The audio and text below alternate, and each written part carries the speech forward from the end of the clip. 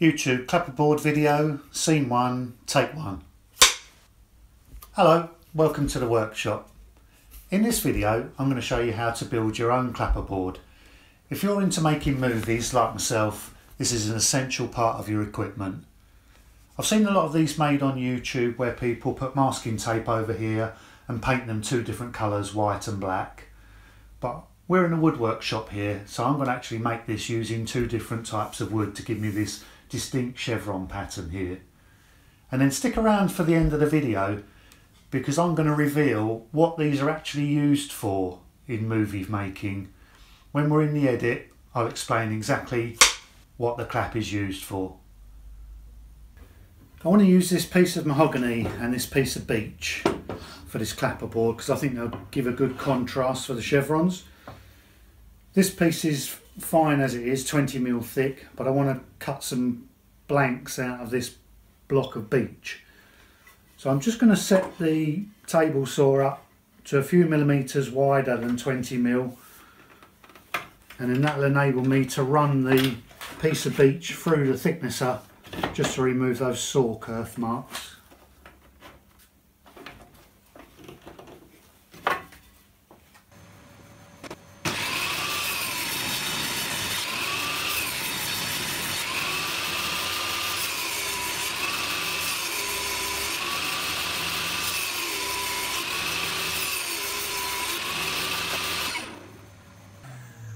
Go, that's given us a blank for the beech and that's just a little bit thicker so I can run that a couple of times through the thicknesser uh, just to bring it down to the 20 mil of the mahogany.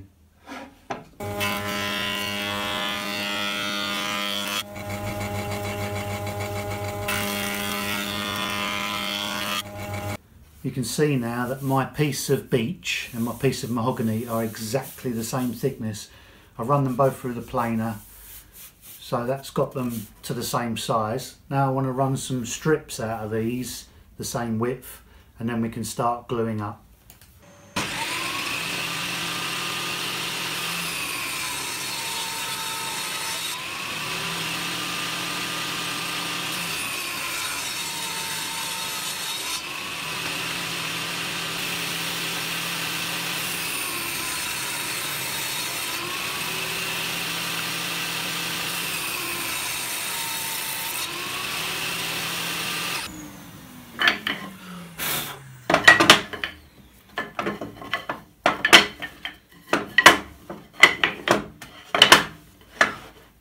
Kind of see what I'm getting at now. So now when we glue these pieces together and then I cut them at a 45 degree angle that's going to give me that nice chevron pattern. So I just need to cut strips out of these so that we've got more to glue together to give us that width of the board.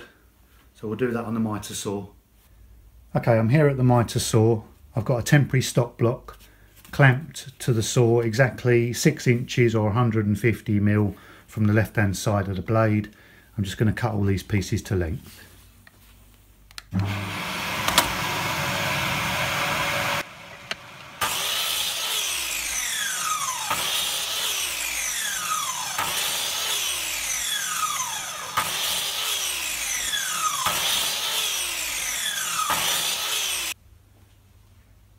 I've got my blocks of wood cut here and I'm going to show you how I'm going to glue these up without any clamps. So obviously we're going to alternate these to give me that black and white effect. And then what we want to do is we want to clamp these at a 45 degree angle. something like that. So I'm going to use this scrap of wood. You might recognise that from another build. And I'll show you how I'm going to achieve this. So screw a block in here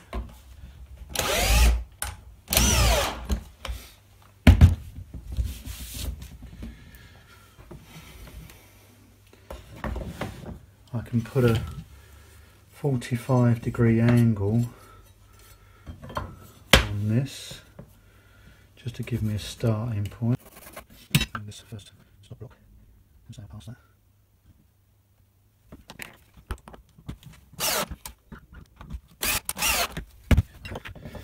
Now we can simply load the pieces in here. Obviously these will all get glued, but I'm just going to dry assemble it so I can get the blocks set up for clamping. There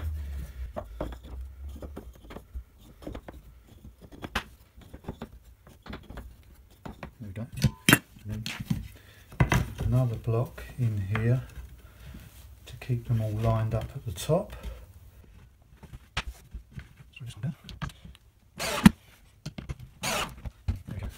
So that's going to keep them all aligned. And then what I'm going to do is I'm going to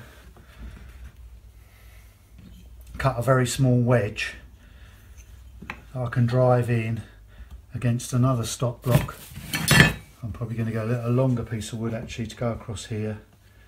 And then what I'll do is I'll drive that wedge in and you can see the action of me driving that wedge in is going to squeeze all of those up and then I'll just give them a gentle tap as I drive that in just to make them all nice and snug. I'm going to glue these pieces up and to stop them sticking to this wooden jig or clamp if you like I'm just going to use a simple piece of cling film and you'll be surprised how well that works.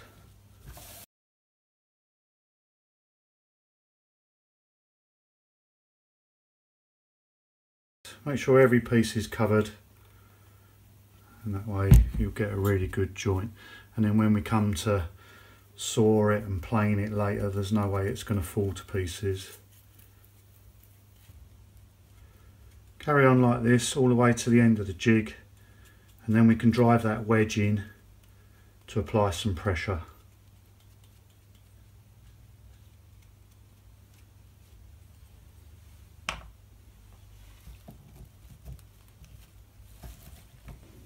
That's all the blocks in the jig. Just remains now to just drive this wedge in and that's just going to apply enough clamp pressure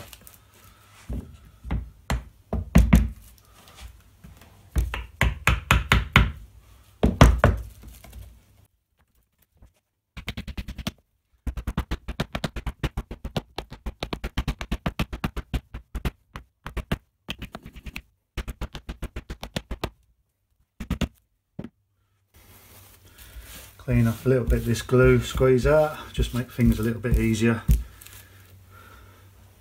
And just leave that in the jig now to just go off. Let all the glue set up overnight. We'll take that out and then we'll be able to cut it, run it through the planer, thickness it, and then slice it into pieces to create a chevron. Back in the workshop the next day, the glue's all set up, so now we're just going to remove it from this jig.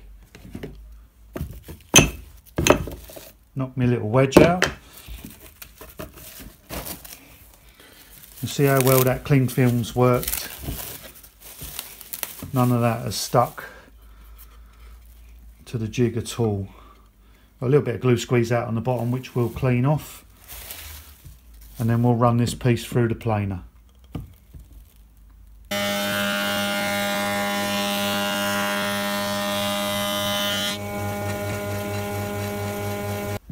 Now what we're going to do is we're going to cut the strips out of this which will form the clapperboard. Initially I'm just going to knock off these points here just to get me a straight edge then we'll flip it over and then we'll start running some pieces off of it.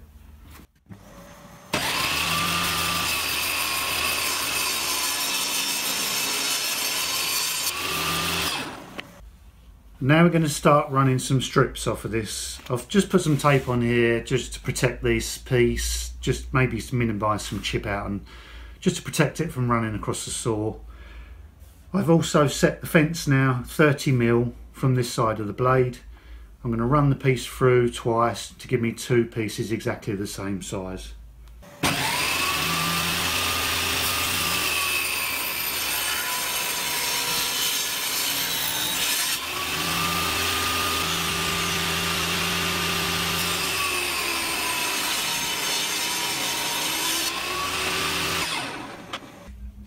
So as we take this protection off here, you'll see my idea come together. I think you know where I'm going with this now.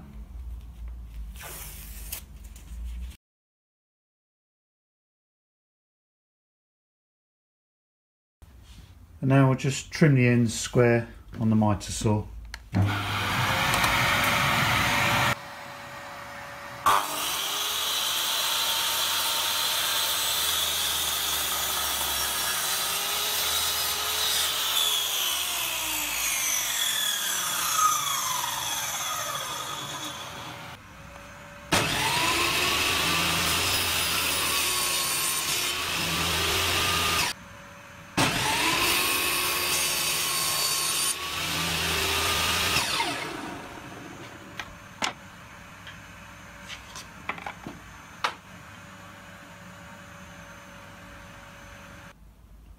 I've lowered the blade to about 12 mil or just under half an inch and I've set the distance from the fence to the side of the blade so that it will cut me a groove down the middle of this clapperboard to accept the blackboard section. I'll run it through once, flip it round, run it through again and that will make sure that my groove is exactly centred on the width of this piece of wood.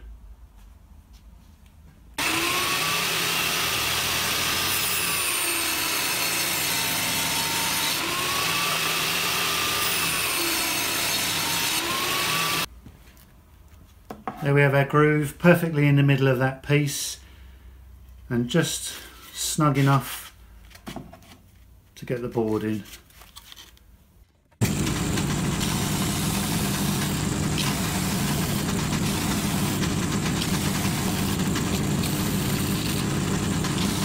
That's all the parts of our clapper board finished. We're just going to give them a very light sanding and then it'll be ready for some finish. The trick to any kind of spraying is to use thin even coats and to keep uh, same distance away from your workpiece at all times. Travel across it from one side to the other in a smooth motion and then don't spray in one spot for any length of time and don't try to put too much on to start with. Just build it up gradually in small layers and you'll get a much better finish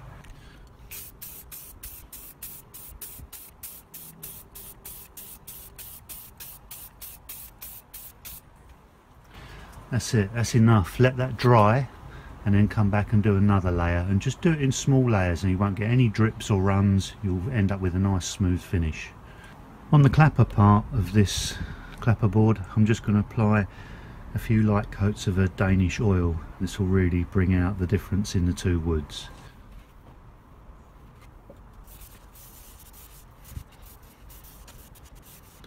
Leave that to soak in and then we'll give that a light buff in with a soft cloth that'll be really lovely now we're just going to apply a second light coat to the blackboard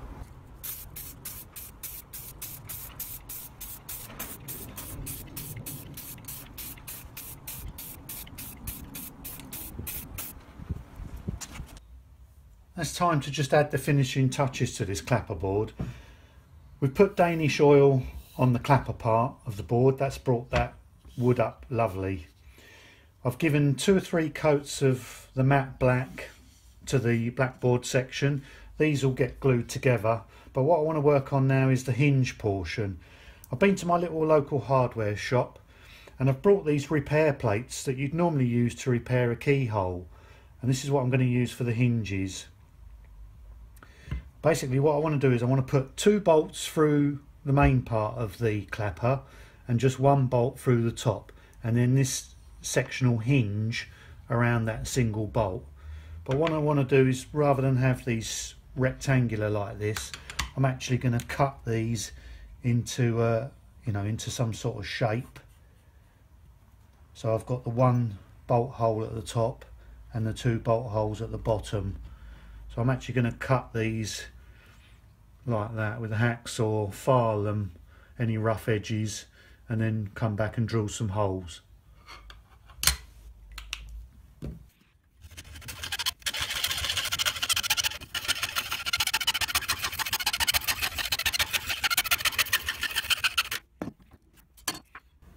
There we go. And then I'll just come in and just file that nice and smooth.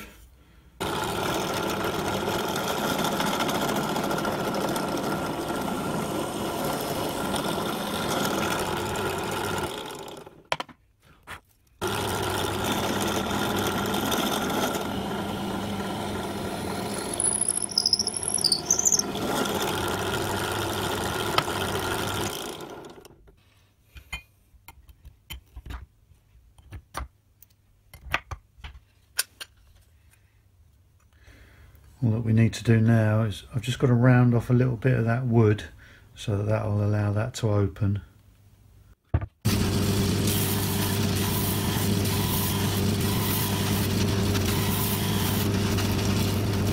Now we just got to assemble the clapper part. Drop these screws in. I've got these dome head nuts I'm going to put on this side just to finish these bolts off a little bit neater.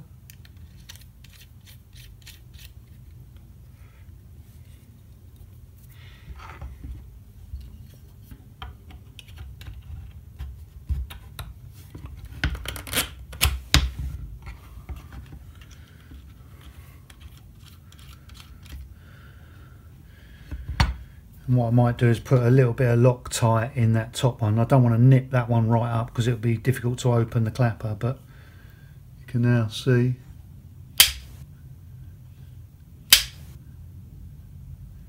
So now all I've got to do is glue that to the blackboard. I put some tape on here just to protect that piece from any glue squeeze out.